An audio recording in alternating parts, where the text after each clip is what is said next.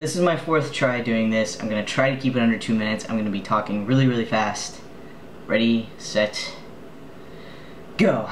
Okay, hi, my name is Ken. I'm 20 years old and I live in Portland, Oregon, and I am a film student whose lifetime wish is to be a part of this Hey I'm Vlogging Here documentary and to share my story about YouTube and how involved I want to be when I graduate um, with Maker and with YouTube in any way, shape, or form possible. My journey with YouTube started uh, when I was 12 years old. I made my YouTube channel in order to comment on videos. I kind of broke the rules because I, you know, was 12, but I was nearly 13, so it kind of didn't matter. Um, anyway, uh, hence the stupid name. I was obsessed with Star Wars.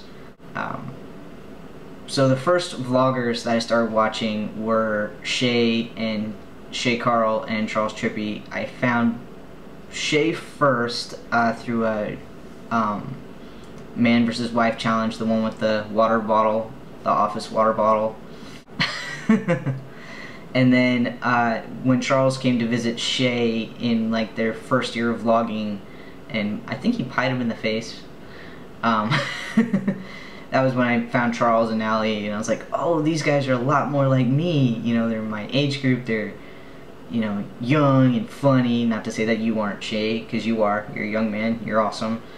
Um, and Charles is almost exactly like me in like his mannerism and his way of thinking. It's kind of weird. anyway, um, I found vlogging and started looking at it as a viable option because I kept hearing Shay and Charles talk about it and I was just thinking, how do you do that? How do you do that every day for years? I mean, one of you has kids, the other one, you know, has become a rock star and is on tour in Europe right now. What? How do you have time to sit down and edit? Blows my mind, but is also inspirational because it's like, makes you feel like you're a lazy butt if you can't sit down and even edit a video while you know, here's this guy that's running marathons and chasing kids, and another one's, you know, dealing brain tumors as well as, you know, jamming on the bass.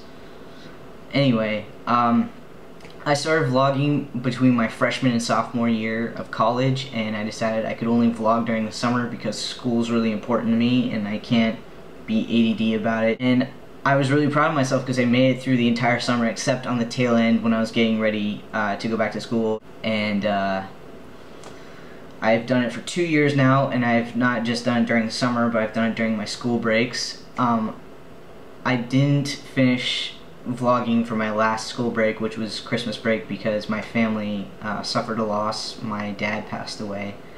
It was really heartbreaking, still kind of recovering from that. And it was sort of a, a, one of those moments that Shay and Corey were talking about of, you know, this is what goes on behind the camera, this is what you deal with. And I'm really interested in that aspect of the vlog, of the hey I'm vlogging here part because you never know what's really going on until you openly say it. And I think that's pretty amazing that you're willing to open up even further in your lives to us uh, through this documentary and just kind of show us some of the struggles that you all have faced and to also show that vlogging and that YouTube is now becoming an industry where people like me who you know a lot of times the parents are concerned when you go into a creative field that you aren't going to get a job um, especially now in this economy and to show that YouTube is providing jobs and is coming up with things that um, people my age and with my experience can do on their own and start early and build a portfolio and things like that is amazing. And I just wanted to say thank you for doing that and for making this film. And uh, thank you for being an inspiration.